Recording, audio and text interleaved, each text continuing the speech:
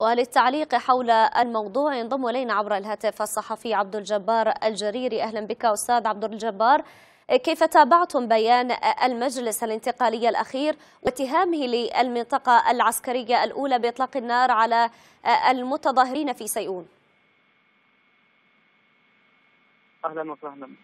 آه بداية آه بيان المجلس الانتقالي في سياق الهجوم الإعلامي الذي يشنه المجلس على المنطقة العسكريه الأولى منذ أشهر وليس الآن.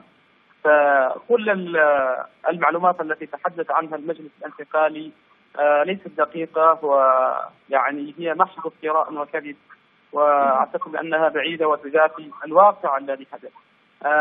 سمحت قوات المنطقة العسكريه الأولى للمتظاهرين بالوصول إلى الساحة. ونحن رأينا وسائل الإعلام التابعة للمجلس الانتقالي تبث فيديوهات وصور يعني لحشد لكنه ليس بكبير وهذا إن على شيء يدل أن هناك تراجع كبير في شعبية المجلس الانتقالي وأن الحضور كان ضئيل للغاية. ويسعى الانتقالي الآن لتحميل المنطقة العسكريه الأولى الفشل الذريع الذي قدمه وعدم استجابة المواطنين لهذا أو لهذه المظاهرة.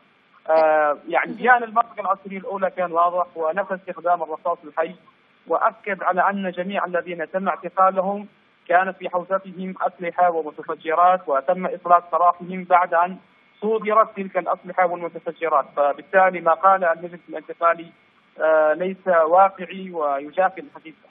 نعم، أشكرك جزيل الشكر الصحفي عبد الجبار الجريري كنت معنا عبر الهاتف.